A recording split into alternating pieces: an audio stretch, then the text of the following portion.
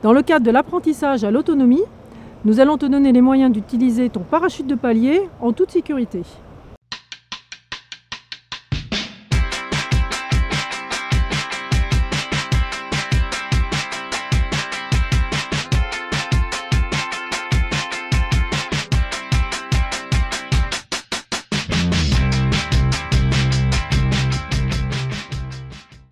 En fin de plongée, si tu n'es pas revenu au mouillage ou si tu as fait une plongée dérivante, utilise un parachute de palier afin de signaler votre présence au bateau en surface. D'abord, assure-toi d'être stabilisé. Regarde tes instruments et échange avec ton binôme sur les paliers à effectuer. Fais du signe que tu vas lancer ton parachute afin qu'il reste stabilisé face à toi.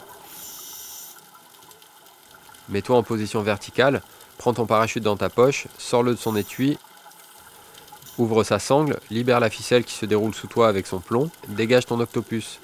Écarte-toi pour ne pas t'emmêler les jambes dedans, déploie l'enveloppe et ouvre les bords inférieurs.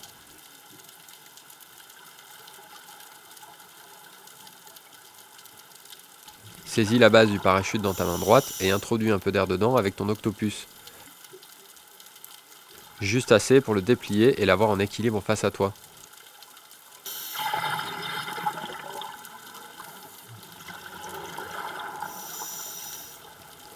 Regarde en bas que la ficelle soit bien déployée, puis regarde en haut qu'il n'y ait pas d'obstacle. Maintiens la base du parachute de ta main droite, introduis l'embout de ton octopus dans l'ouverture et appuie sur le bouton de surpression. Pas plus d'une ou deux secondes. Dès que l'air arrive à la moitié de la hauteur de l'enveloppe, lâche-le et laisse la ficelle filer entre tes doigts en suivant son ascension des yeux. Arrivé en surface, ravale le mou, tire sur la ficelle pour redresser ton parachute pour qu'il soit bien visible hors de l'eau. Pour garder une profondeur constante pendant cette opération, l'astuce consiste à expirer de l'air de tes poumons pendant la phase de gonflage. Ne remplis pas complètement ton parachute, l'air va se dilater pendant la remontée.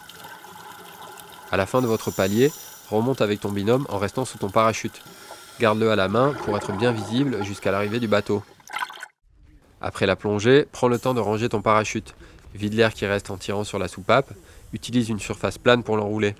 Love la ficelle autour du plomb Roule l'enveloppe, ferme la sangle velcro, puis remets-le dans la poche de ton gilet. Quelques conseils, n'attache jamais le parachute à ton gilet, il doit toujours rester indépendant.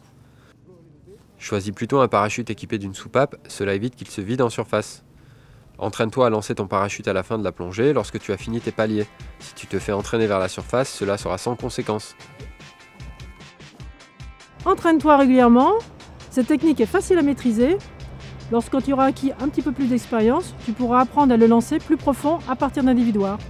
Profite de ces conseils, écoute les recommandations de ton moniteur, fais attention à ta sécurité et à celle des plongeurs de ta palanquée, pense à protéger l'environnement sous-marin et bonne plongée